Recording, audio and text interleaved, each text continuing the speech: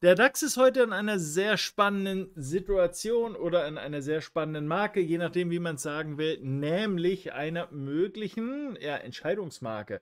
Denn hier werden einige Marktteilnehmer jetzt sagen müssen, bekennen wir Farbe, sind wir bullish oder sind wir dann doch eher pampelmusig, ein bisschen wankelmütig und ja, das war ja schön, der Traum für den Bullenmarkt, aber es geht doch nach unten. Diese Entscheidung ist für viele Marktteilnehmer offensichtlich noch nicht gefallen und die steht jetzt an. Warum das Ganze? Naja, zumindest mal die Kollegen, die charttechnisch unterwegs sind, zumindest mal einfachste charttechnische ähm, Levels im Blick haben, die sagen, naja, ausgerechnet nicht die, sondern die da unten, die sagen, Mensch, wenn wir Widerstand haben, wäre jetzt einer da, nämlich die mehrfachen Zwischentiefs, die wir hier hatten. Das war hier eins vom 6.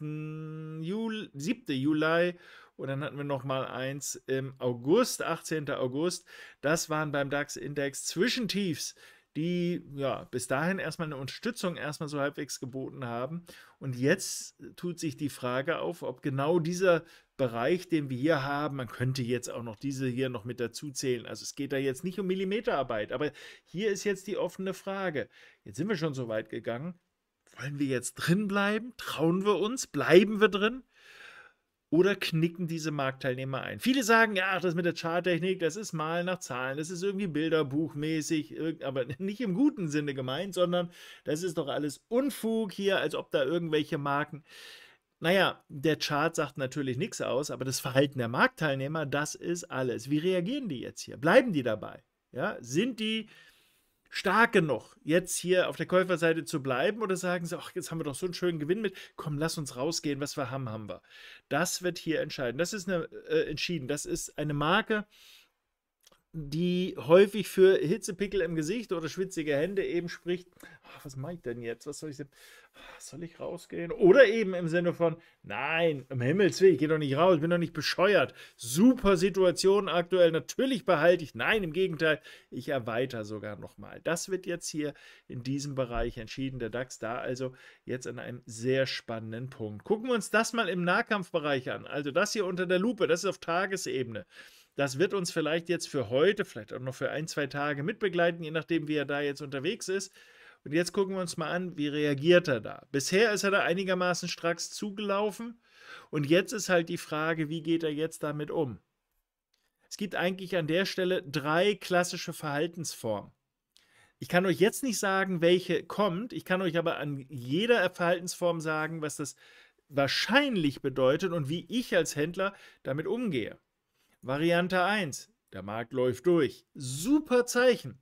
Das heißt, obwohl es Widerstandschancen gab, haben die Marktteilnehmer gesagt, bin doch nicht bescheuert und nehme jetzt Gewinne mit.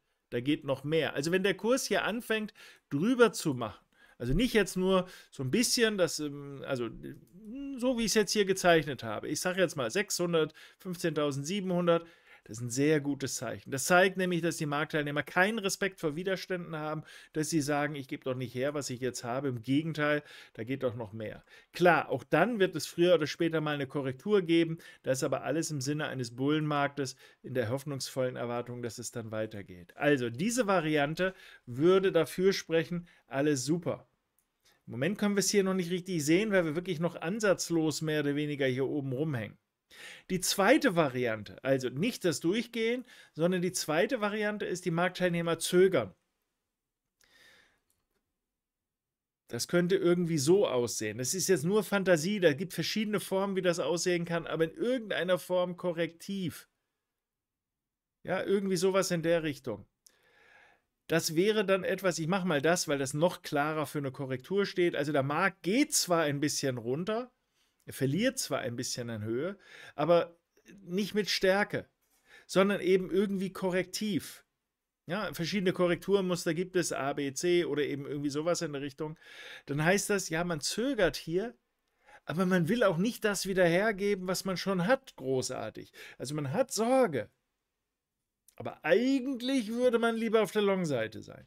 Weshalb man nicht dann die Gewinne, die man hier dann erzielt hat, vielleicht leichtfertig wieder abgibt, die Position schließt oder vielleicht sogar aktiv auf die Short-Seite wechselt, sondern dass man eben sagt, nee, nee, nee, nee, wir bleiben da drin, wenn es eben geht. Der Kurs macht eine Korrektur und viele von euch kennen das. Wenn das die starke Seite ist, wenn dann eine korrektive, eine, eine Korrekturseite kommt, dann ist die beste Chance, dass es nach oben geht. Idealerweise wartet ihr dann, dass er irgendwie einen Zwischenhoch dann rausnimmt. Sowas hier zum Beispiel, das wäre dann sogar ein neuer Einstiegstrigger für die Long-Seite. Das wäre auch ein sehr bullisches Zeichen. Ja, je nach Korrekturgröße könnte man dann noch vielleicht sogar abschätzen, ob es dann vielleicht so eine 1 zu 1 Projektion gibt. Wenn es eine sehr kleine Korrektur ist, dann sicherlich erstmal weiter, aber nicht zwangsweise 1 zu 1. Aber ähm, wenn es eine halbwegs mittige Korrektur hier gibt, dann ist die Chance sehr, sehr groß, dass der Kurs hier im Anschluss das nochmal nach oben fortsetzt. Und dann sind wir aus dem Gröbsten raus, zumindest mal in diesem vorläufigen Bild und hätten sogar neue Einstiegsszenarien. Also, Variante 1 hier im Tageschart läuft einfach weiter. Super, kein Thema. Vielleicht mit kleineren Korrekturen mal, wenn er dann mal hier irgendwie so ein bisschen sowas macht. Ja, gut, so in der Richtung. Variante 2 ist, er macht zwar hier etwas größere Korrekturen, aber es sind ganz klar immer noch korrektive Verlaufsmuster. Vielleicht so ähnlich wie hier, wobei das sehr seitwärts war. Deshalb der Verdacht, die Märkte mögen Pattern Alternation, wenn es vorne eine Seitwärtskorrektur war, mögen Sie hier hinten gerne scharfe Korrekturen. Scharfer heißt, dass der niedriger ist als der. Ihr seht, hier war das so ein bisschen, der sogar noch mal höher. Profis unter euch erkennen das. Ja, das wird wohl eine Seitwärtskorrektur hier gewesen sein. Ja, spätestens jetzt wissen wir es. Das kann man erst im Nachhinein erkennen, reicht aber jetzt ja aus. Ich kann jetzt erkennen, das war seitwärts. Dann wäre hier, wenn jetzt was fällig wäre, eine scharfe Korrektur wahrscheinlicher. Aber dementsprechend, wenn der Kurs dann dreht und hier dann drüber geht, das wäre ein sehr, sehr gutes Zeichen. Also auch noch bullish, wenn es hier korrektiv runtergeht. Dabei ist es gar nicht so wichtig, ob es so aussieht, ob das so aussieht. Das, die, die Quintessenz wäre mehr oder weniger die gleiche. Anschließend nochmal weiter auf der Long-Seite. Und damit würden wir die wahrscheinlich rausnehmen und hätten einmal mehr gezeigt, die Marktteilnehmer, die trauen dem Markt was zu. So, und die letzte Variante. Die letzte Variante ist, dass die Marktteilnehmer jetzt tatsächlich Muffensausen bekommen und den Markt abverkaufen. Das heißt eben nicht korrektiv runtergehen, sondern möglichst stark, wobei diese Abwärtsbewegung eben durch korrektive Gegenbewegung. Gucken wir uns das mal auch im Intraday-Chart an, dann müsste das irgendwie so aussehen und im Gegensatz wackelig hoch, korrektiv hoch. Das heißt, die Marktteilnehmer trauen ihm doch nichts zu, lassen sich jetzt ins Boxhorn jagen, oh, Widerstand, bei kleinster Gelegenheit, vielleicht kommt nachher noch irgendeine doofe Nachricht, irgendeine Marke wird äh, getriggert, irgendein Spruch fällt auf, auf X oder sonst irgendwie was von irgendjemandem, der Beachtung findet. Und die Marktteilnehmer sagen, raus, raus, raus, klasse, wir haben hier einen tollen Spaß gehabt, aber jetzt ist auch gut, Widerstand, nicht übertreiben, lieber rausgehen. Dann wäre eine scharfe Abwärtsbewegung zu erwarten. Wenn die dann erfolgt und eine Korrektur in die Richtung, beste Chancen, nochmal zu shorten, mindestens dann aber rauszugehen, wenn nicht vorher schon. So, wie geht man jetzt damit um? Weil viele sagen natürlich, ja, aber Rüdiger, das will ich ja nicht. Ja, kann ich mir vorstellen, will ich auch nicht. Ja, ich will ja immer nur die guten Trades haben, ohne irgendein Risiko. Aber jetzt mal Spaß beiseite, das geht natürlich nicht. Ihr müsst irgendwas in die Waagschale werfen. Wenn ihr was kriegen wollt, müsst ihr was in die Waagschale werfen. Das heißt, jetzt ist eine Entscheidungsmarke, wenn ihr euch nicht sicher seid, schließt die Position und sagt, ich gucke es mir an Wackelt es runter, kann ich ja wieder Long aufbauen. Läuft es weiter, warte ich die nächste Korrektur an, baue Long wieder auf. Und wenn es runtergeht, bin ich froh, dass ich da meine Gewinne mitgenommen habe und mache neue Shorts auf, wenn er die nächste Korrektur gemacht hat und ich dann eben die Abwärtsseite wieder mitfahren kann. Das ist für die Vorsichtigen. Für diejenigen, die sagen, naja, ich habe doch jetzt hier schon ein bisschen Polster, dann soll er halt einen Rücksetzer machen. Dann merkt euch mal in etwa, ganz grob nur, diese Korrekturgröße, die wir hier haben. So ganz grob. Und mit der müsst ihr hier in etwa rechnen. Ja? Das wäre aber ja nicht schlimm. Dann hätten wir hier eine von mir aus Seitwärtskorrektur. Dann hätten wir hier irgendwie einen Anstieg noch. Okay. Dann hätten wir hier eine scharfe Korrektur, ähnliche Größe. Und wenn er dann weiter nach oben geht, ja gut Ihr habt also eine Größenordnung, in der sich das vielleicht etwa abspielt. Kann auch ein bisschen tiefer sein, aber selbst wenn es ein bisschen tiefer ist, dieses Tief ist niedriger als diese Hochs hier, selbst als das höhere Hoch hier von der B-Welle, ist überschneidungsfrei und wir wissen, ein Verlaufsmuster, das in etwa so aussieht, ohne Kursüberschneidung, wo der drüber liegt äh, über dem, Das ist ein gutes Zeichen. Also, bullisches Anzeichen, was wir da haben. So, diese Entscheidung, die wir jetzt hier beim DAX haben, die steht nicht nur beim DAX aus, die steht auch beim Dow Jones aus. Da haben wir nämlich hier ebenfalls nochmal ein Zwischentief. Und für alle Schisser im Markt, die jetzt Angst haben, die werden jetzt ernsthaft überlegen, ach, geh lieber raus, das wird eh nichts mehr. Das ist jetzt die Übung, die wir jetzt abwarten müssen, zu gucken, was ist das. Und da hängt es jetzt davon ab, ob ihr sagt, na, ich nehme lieber mit, oder ob ihr sagt, pa, bleibe ich drin. Jetzt in diesem Moment zu kaufen, weiß ich nicht, finde ich jetzt nicht so adäquat. Da würde ich dann eher abwarten, nach einer Korrektur wieder zu kaufen. Oder wenn er durchläuft, danach bei der nächsten Korrektur zu kaufen. Ist das nicht ein guter Einstiegstrigger hier? Naja, wenn wir ehrlich sind, ich finde das keinen so tollen Einstiegstrigger. Warum das denn nicht? Warum maule ich denn dauernd rum? Naja, man könnte doch jetzt sagen, wenn er da drüber geht, Rüdiger, geht doch da long.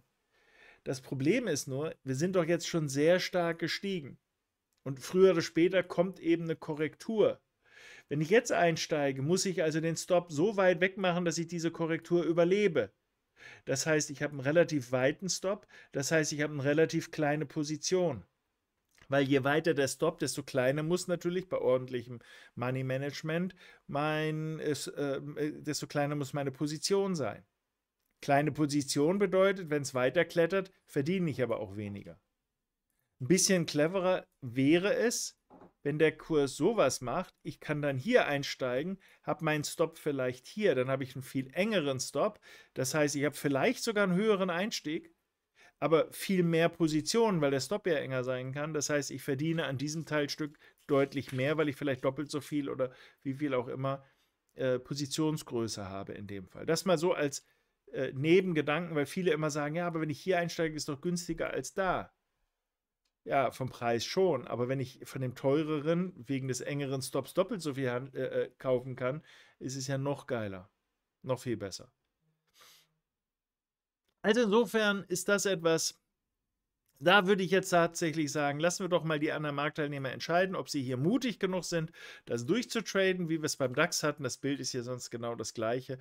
Und dann wäre das Aufspringen aus meiner Sicht dann interessant. Aktuell scheinen die Marktteilnehmer tatsächlich noch nicht so ganz klar im Kopf zu sein, wie sie damit umgehen wollen. Ein Grund mehr, jetzt im Moment dann zu sagen, wir lehnen uns mal zurück, Operngläser raus oder für die Jüngeren dann eben 3D-Brillen raus, Popcorn und äh, dann lassen wir uns das mal anzeigen, was die anderen davor haben. Und äh, dann machen wir das alte wieder. Es ist ein Mitmachspiel. Sobald wieder klare Richtung herrscht, machen wir natürlich mit. Immer schunkeln in die gleiche Richtung wie die anderen auch. So, also insofern spannende Situation bei beiden Märkten. Wie sieht es denn beim SP aus?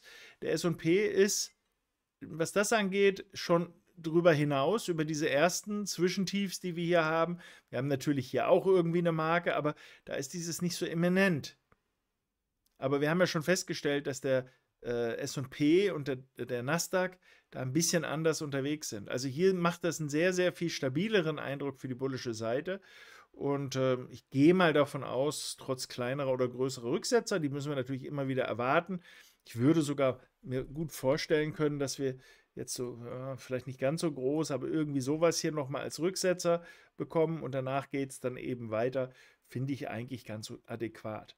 Insofern ist auch beim DAX und beim DAO mindestens mal als Mitläufereffekt meine Erwartungshaltung groß, dass die Chancen für eine Fortsetzung nach oben recht, recht gut sind.